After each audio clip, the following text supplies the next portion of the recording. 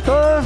Yo soy Rafael Guerrero, conocido como Colochos. Soy chofer del supermercado Viña 10 y mi trabajo es llevar los seguros hasta su casa. De parte de Área de Transportes, queremos desearle una feliz Navidad a todos.